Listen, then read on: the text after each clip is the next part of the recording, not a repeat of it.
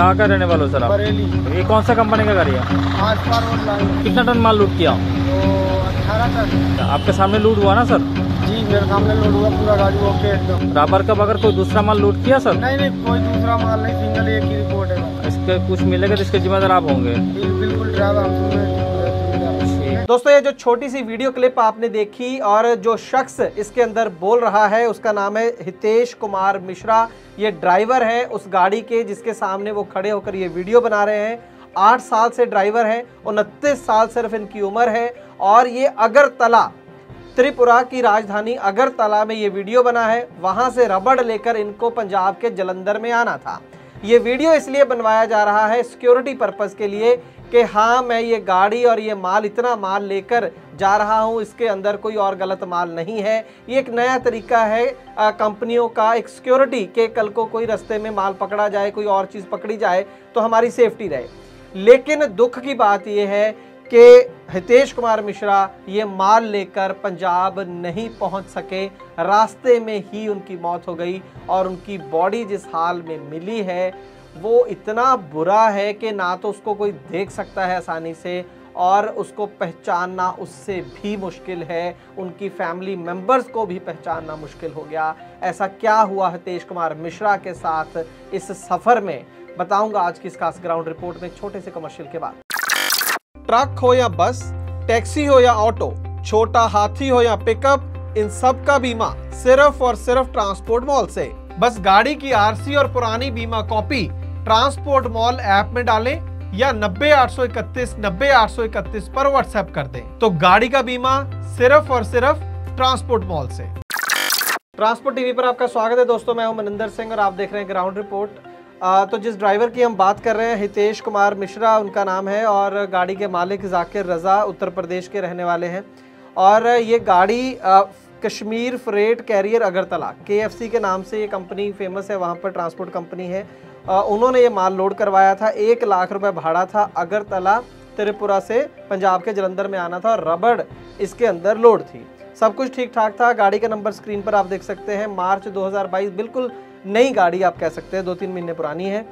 और ये सात जुलाई की घटना है। जब ये माल लेकर वहाँ से चले हैं, जो वीडियो आप देख रहे हैं। तो सात जुलाई 2022 की रात को शायद वहाँ से गाड़ी चलती है, क्योंकि जो वीडियो हम देख रहे हैं, वो रात का ही है, सात जुलाई का।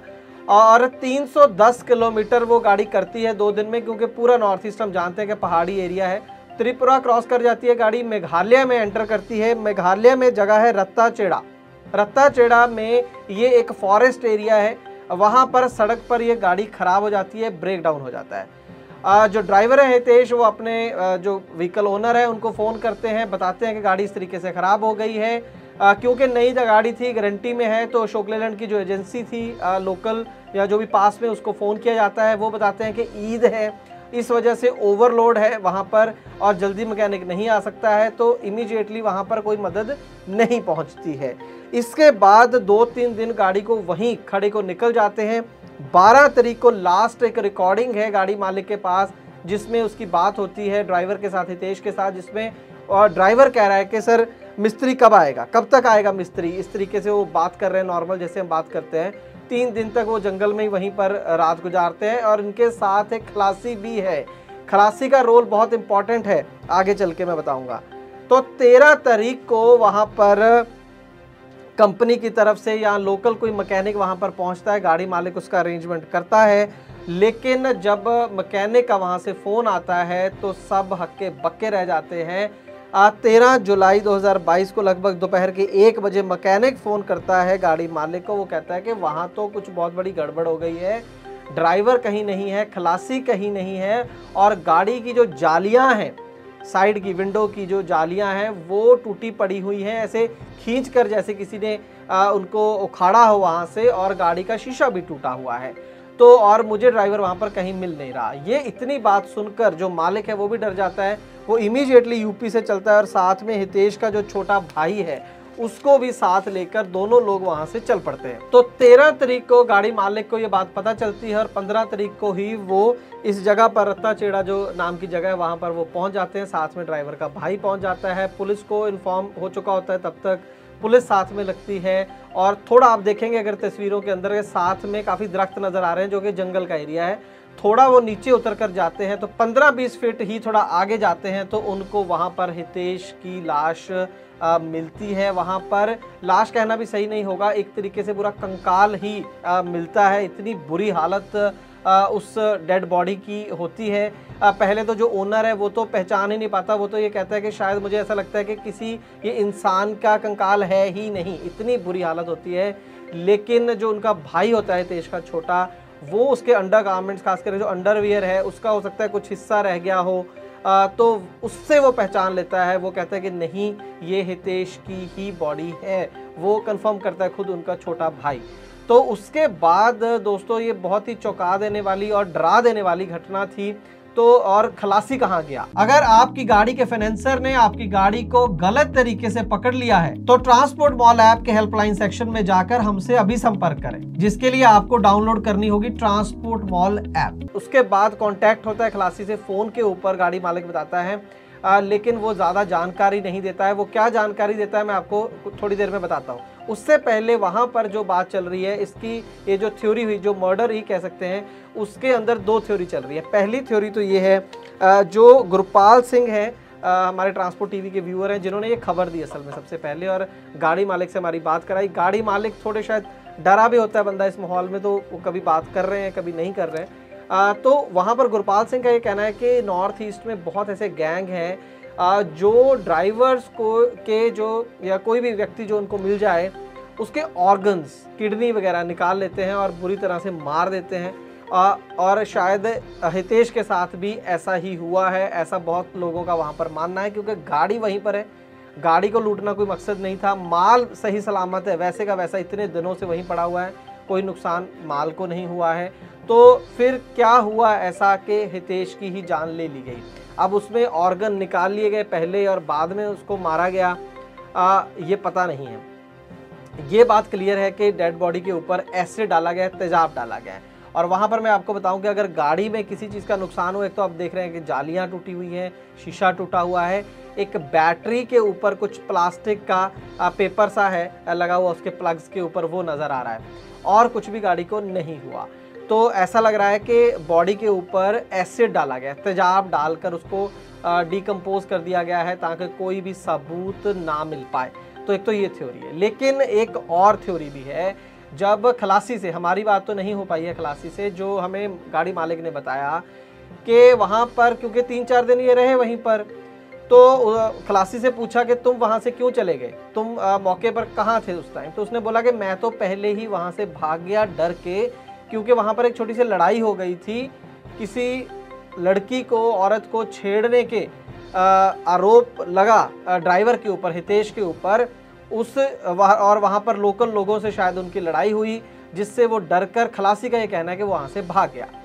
अब पूरी घटना का शक वैसे तो खलासी के ऊपर भी हो सकता है, लेकिन अगर खलासी का वर्जन सच माने तो फिर ये भी हो सकता है कि जिन लोगों से झगड़ा हुआ, उन्होंने ये पूरा काम कर दिया। ड्राइवर गाड़ी के केबिन में था। एक थ्योरी ये है कि वो केबिन में था वो बाहर निकल नहीं रहा होगा अगर लोग इकट्ठे होके आ गए। तो उन्होंने जालियाँ तोड़ी शीशा तोड़ा ड्राइवर को बाहर निकाला और उस, उसका उसके जो है उसका कत्ल कर दिया गया और उसके बाद बॉडी को उसी की गाड़ी की ही शायद बैटरी निकाल के तेजाब उसके ऊपर डाल दिया गया।